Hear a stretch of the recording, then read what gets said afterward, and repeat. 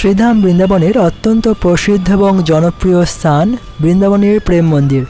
তাই প্রতিদিন লক্ষ লক্ষ ভক্তরা প্রেম মন্দির দর্শনে আসেন। বিশেষ করে বিকেলবেলা ভক্তদের সংখ্যা বেশি হয় কারণ সন্ধেবেলা মন্দিরের আকর্ষণীয় সমস্ত লাইটিংয়ের সৌন্দর্যে মন্দিরটি আরও আকর্ষণীয় হয়ে ওঠে। আজ আমরা তোমাদের প্রথমবার প্রেম মন্দির নিয়ে যাচ্ছি এবং প্রেম মন্দিরের অন্দর মহল আমরা তোমাদের দর্শন করাবো। তোমাদের মনও মুগ্ধ হয়ে যাবে। প্রেম মন্দিরের অন্দর মহল দর্শন করে। চলো আমাদের সঙ্গে।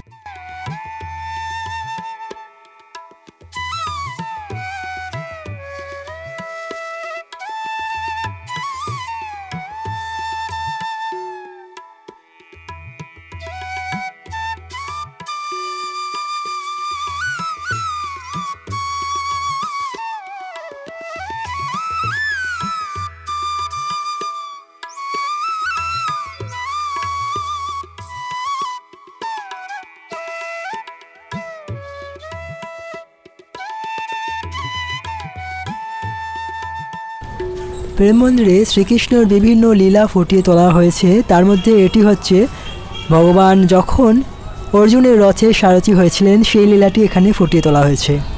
এই মন্দিরের সবথেকে আকর্ষণীয় লীলাটি যেটি ফুটিয়ে তোলা হয়েছে, সেটি হচ্ছে পরমেশ্বর ভগবানের গিরিরাজ গোবর্ধন লীলা, যা আমার সব থেকে বেশি ভালো লেগেছে। ওনার কেনু আঙ্গুলে মাত্র সাত বছর বয়সে বিশাল বড় গিরিরাজ গোবর্ধন পর্বত ধারণ করেছিলেন।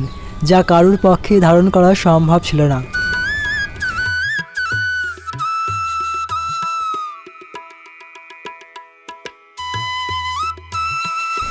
বন্ধুরা, এই ভিডিওটায় আমরা তোমাদের বাইরের সিন বেশি না দেখিয়ে প্রেম মন্দিরের অন্দরমহল দর্শন করাচ্ছি। পরের একটি ভিডিওতে তোমাদের প্রেম মন্দিরের বাইরের সমস্ত সিনগুলো দর্শন করাবো। চলো এখন আমরা ধীরে ধীরে ভিতর দিকে চলে যাই। প্রচণ্ড ভিড় হয়েছে। প্রেম মন্দিরের ভিতরে ভিডিওগ্রাফি এবং ফটোগ্রাফির অ্যালাউ নেই, তবু আমরা তোমাদের দেখাবার চেষ্টা করব।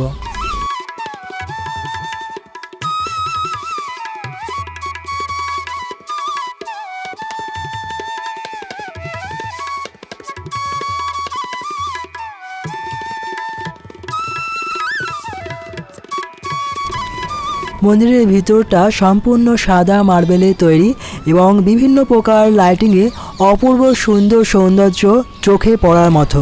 এছাড়াও মন্দিরের প্রতি দেওয়ালে বিভিন্ন দেবদেবীর প্রতিমূর্তি সুন্দরভাবে খোদাই করা হয়েছে, যা আরও সৌন্দর্য বৃদ্ধি করছে এই মন্দিরের।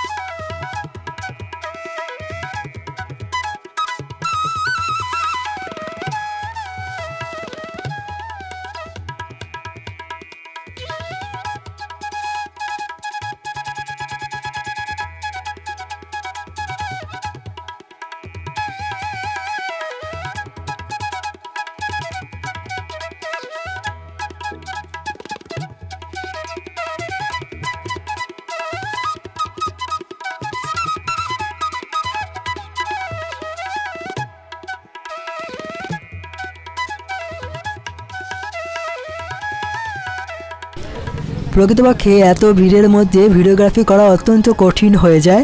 তবুও তার মাঝে আমরা এত সুন্দর করে তোমাদের কাছে ভিডিওটি উপস্থাপন করার চেষ্টা করলাম।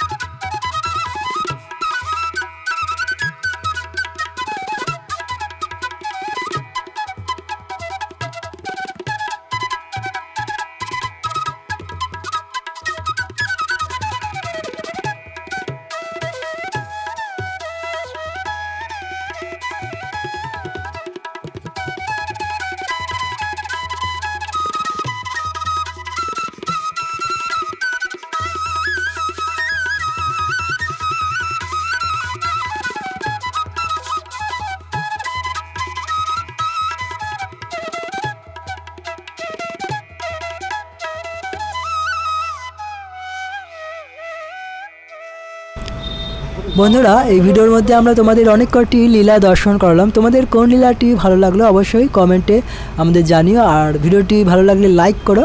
আর সবাই সুস্থ থাকো, ভালো থাকো। আশা করছি তোমাদের এই ভিডিওটি ভালো লেগেছে। বৃন্দাবন থেকে আরও সুন্দর সুন্দর ভিডিও তোমাদের জন্য আসতে চলেছে ততক্ষণের জন্য। জয় শ্রী রাধে।